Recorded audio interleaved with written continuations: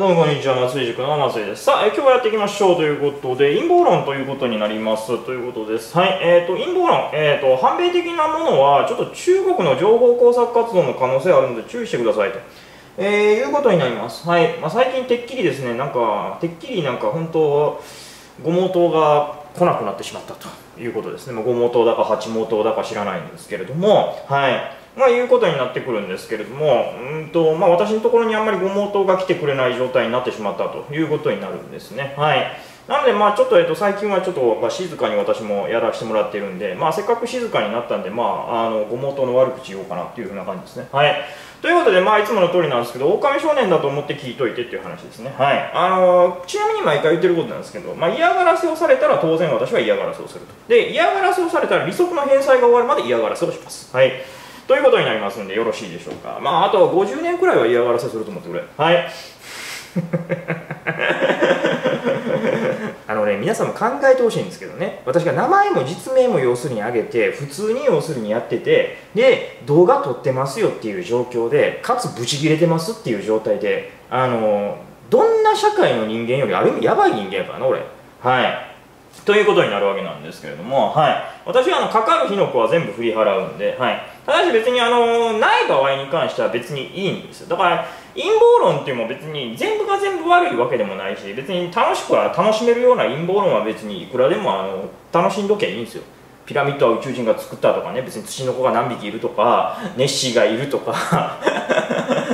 あの別に富士あのなんかなんかなんとか適当なとこ山のところであの宇宙宇宙船を呼ぼうとか UFO を呼ぼうぜとかいうサークルがあったりとか 我々はカッパ探検隊ですとかいうのがあっても別に何でもいいんですよ。地底人に会いに行こうでもないでも。その迷惑が他人に迷惑がかからない限りは別に私が要するに事実で要するに殴る必要性もないしそれはそれで楽しんでもらう分にはいいんですよ。ただしこれで注意しなきゃいけないのがこの陰謀論っていうところで反米的なものっていうのは中国の情報工作活動の可能性があるので注意ということになるんですね。だから正しく言うんだとしたら中国の脅威に対して正しく対応するということが大事なんですだから必要以上に煽りすぎるっていうのもまあ PV を稼ぐとかその YouTube 動画で要するに再生回数回したいっていう分の気持ちは分からんではないのでそういう風な感じで要するに過激に過激にっていう風にやるのはいいんですけどいやそれは全然違いますよとかまあ、この間も要するに話あったんですけどなんか食料ななんか中国で最中戦争で要するになんか6000万人が餓死するとかわけわかんないこと書いてる人いたんですけど何言ってんだっていうような。食料が入ってこないとかね。いや食料入ってきますみたいな。どっから輸入しとると思ってんみたいな。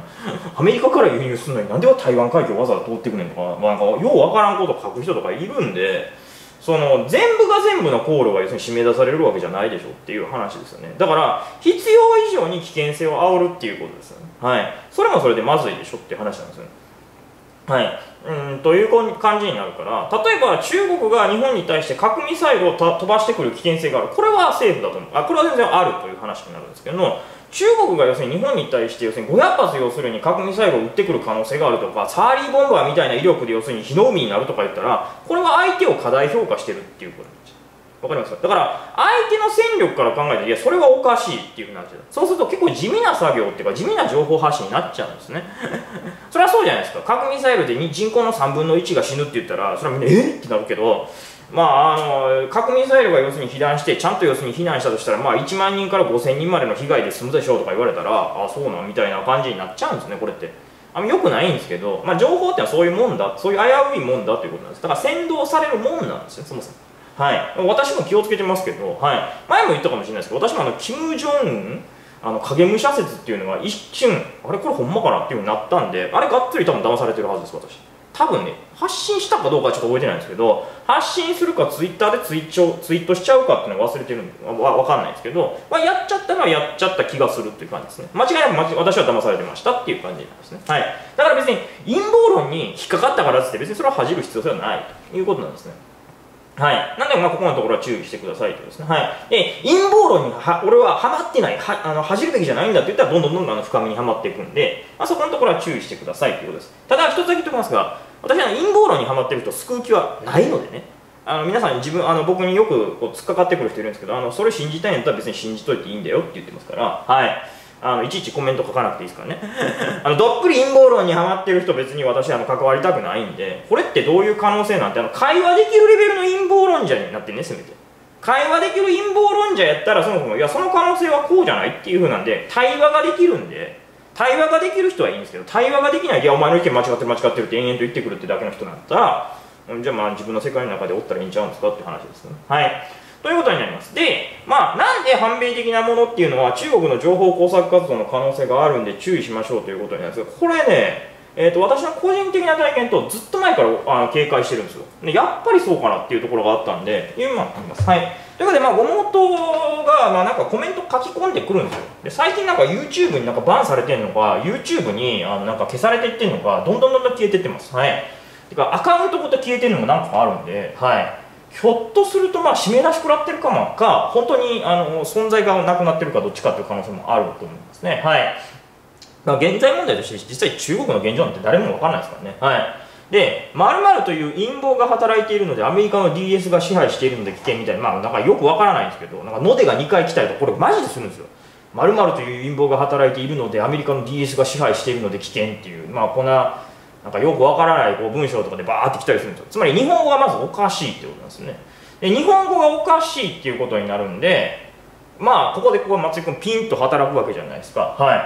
まあ単純に要するにまあミスなのかなっていうのもあるんですけど私もミスしたりとかまあこう書いてたりしてミスったりもするんであるんですけどね。で私こういうんですね。そうですねはい。アメリカも危険な要素あるので防衛費 GDP2% を目指すべきですね日本はっていうんですね。はいまあ、あとは過去保有とかも要するに検討していかないといけないですねとか、集団的自衛権をちゃんと行使するために台湾やインドといった国々とですね、えー、としっかりと集団的な自衛権、集団的安全保障っていうのかね、経済の関わりであったりとか、そういうふうな感じでやったりとかですね。で、これアングロサクソンとかやったら言ってくるんで、いやいや、だからアジアでやってるやんっていうんでね、わざわざこうやるわけですね。はい。で、まあ、そういったことをまあ要するに、えーと、説明文章に入れといてそして中国という危険な国家に対抗していかないといけないですねってことです。つまりアメリカが危険だという主張なんですよね。別に、私もはっきりもしますね。あの別にアメリカが100%安全な国だとかアメリカが100%信用できる国だとかアメリカは100%同盟国を裏切らないなんていうのは歴史的な事実から反するようなこと考えないですよ。普通にアメリカって あの見捨てますから普通に。あのソ連との戦いのところでいくつかの要するに国って見捨ててるんでちゃんと。はい。っ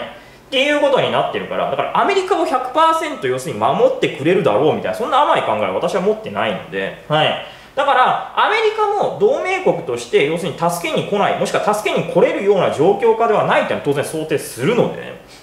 これ DS が原因とかそんなの抜きにしてね。全部抜きにしたとしてもじゃあどうしなきゃいけないよね？って言ったら自国のところで防衛費をちゃんと作っとかないといけないよね。じ、えーと、個別的自衛権の範囲内で叩けるものは叩けるように、えーと、ちゃんとしとかないといけないですよね。で集団的自衛権とか核保有とかも含めて全部含めてねどういう兵力とかどういう戦力っていうのが必要なんですよっていうのを考えた上で自国の防衛をしっかりしなきゃいけないですよね。でつまり防衛っていうのは多岐にわたりますシェルター作るであったりとか避難訓練するであったりとか そのいうことも全部ひっくるめてそうですね。避難訓練場所はどこになるのかとかどういうふうなのに気をつけなきゃいけないのかっていうことを含めて、はい、全部含めて大事だよね。だから自分の国で中国っていう危険な国に対抗していかないといけないですよねっていうことなんです。私が言いたいのね。はい。っていうことを言ったわけなんですよ大体。で10%ぐらいの確率でそうですねって言って私たちも一緒に頑張っていかないといけないですねって言った場合は大体10%ぐらいです。でこれの大体90%ぐらいの答えがいやなんかそれは違うみたいな。日本はあのアメリカと戦争するべきだって。意味わかんないですよ えどういうこと？どういうこと？みたいな。えななんでいきなりそのアメリカの DS がアメリカの DS が支配しているっていうんでなんでいきなり日本がいきなりアメリカにお前アメリカに DS 支配されてるやろって戦争するわで。どういうどういうロロジックで要するに戦争を仕掛けるんですか？いや本当にこんな会話が返ってくるんですよ。日本はアメリカと戦争するべきだ。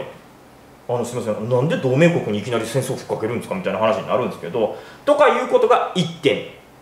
あとは要するにいや中国はそんな危険な国じゃないとか言ってとか言い出すっていうふうな話。いやいや中国危険な国やろって。いやコロナで散々分かったし今もミサイルでバンバン飛ばしてきてるやんってやそれは日本が悪いみたいなこと言い出して。えなんすかこれみたいな。この人ただの陰謀論者じゃないですよねっていう話になるんですよね。で話をでで私しつこいんでいやいやそれそれななん陰謀論と何の関係がある？そその DS と何の関係があるんですか？みたいな感じでこうどんどんどんどんあの皆さんも知ってるじゃないですか？私のしつこさ。いやあれただ単純に疑問に思ってるだけですからね。あれなんかやり込めようとか悪さしようとかじゃ全然違いますよ。ただ単純にえ？おかしくね？ってお前の言ってることっていうんで普通に疑問に思ってるからこうどんどんどんどん続いていったらまあ最終的には私は中国人だ。みたいなこと言い出すんですよ。で私は中国人だ。みたいな。お前そんなにあの私の日本語ができないことをバカにして楽しいのか？みたいなことを言い出すんですよ。あいるわ。っていう感じになるんだ。だからこれがね結構90%ぐらいあるんですよ。だからアメリカの DS が支配してるので危険とかいう人に対して、まあ、皆さんもこうやって返してみてください。もしツイッターとかで絡まれたらはい、ツイッターとかで絡まれたら、そうですね、アメリカも危険な要素あるので、防衛 GDP2% 目指しましょうねとかあの、そうですね、アメリカも危険な要素あるんで、集団的自衛権の観点から、アメリカだけに頼るのではなくてですね、えー、台湾やインドというですね、えー、信用できる国っていうのを経済的な結びつきであったり、軍事的な結びつきであったりっていうのを大切にしていった上で、要するに日本の安全保障っていうのは総合的に考えていって、中国という危険な国家に対抗しなければならんですねっていうふうに、まあ、要するに言ってあげてみてください。あのね、大体ね、ボロ出ますよ。大体ボロ出るんでいやだからこういうことが危険なんですよ。でこれで要するに考えてほしいんですが実は陰謀論ってこれ結構昔第二次世界大戦とか太平洋戦争とかの時にもそうだしずっと使われてるんですけど共産主義者の手口として結構使われてます。はい。まあ、あの分かりやすいのもゾルゲ事件とかベロナ文章とかで、まあ、いろいろ、えーと、分かってますけど陰謀論をばらまいて要するにその例えば日本国家の要するに信用力を落とすという行為。もしくは日本国に対しての同盟国である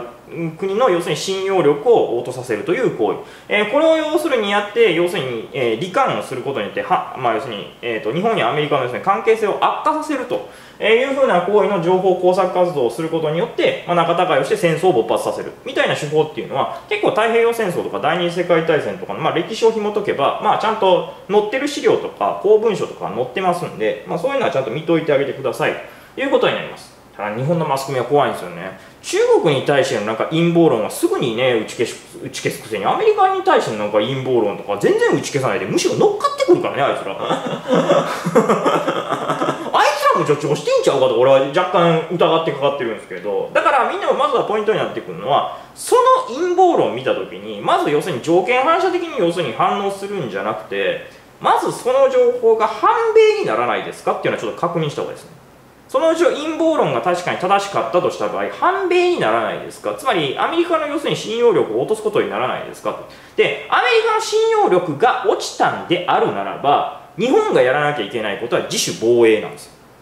自分の国を自分で守るということ。だから、防衛費を引き上げるであったりとか、もう少しその、だからその人の次の発言も見ておいてほしいんですよ。だから反米だから反米あのその陰謀論がもし正だと信じてるんだただの人だとしたらアメリカだけを信じとくっていうのはちょっとまずいから日本は要するに自主的に防衛をしなきゃいけないよねとかこういうふうに軍事を要するにやっとかなきゃいけないよねっていうこととか別の国とも要するに集団安全保障をやっとかなきゃいけない。でこの時に集団安全保障しなきゃいけないよねなぜかロシアとかいやその日本の敵国やんけっていう話になるわけじゃないですか。その日本から見て北朝鮮ロシア中国ってのあの防衛白書で名指しでやってるところやんけって話になるんやけどなぜかそっちに行くやついるんですよね。はい。いうことになるんでここのところはしっかりと皆さん注意してください。だから反米的なものっていうのはしかもメディアもあんまり打ち消してこないのであの注意した方がいいです。つまり中国に有利になるような要するに、えー、陰謀論はなぜか打ち消してくるんですよね。あじゃあ中国にとって不利になるような陰謀論ってすぐ打ち消すんですけどなぜかアメリカにとって不利になるようなことの陰謀論ってマスコミ業界っていうのは、えー、あんまり打ち消そうとしてこないのでこれちょっと注意した方がいいですね。はい。よろしいでしょうか？ということはねこちらということで、ね、反米的なものは中国の情報工作活動の可能性がある。で反米的なことをやって陰謀論を組み合わせてるっつったらそれほんまにどっかから資金流れてんちゃうかっていうのは警戒してそういう人間に当たった方がいいですね。よろしいでしょうか？それでは本日もご視聴いただきまして誠にありがとうございます。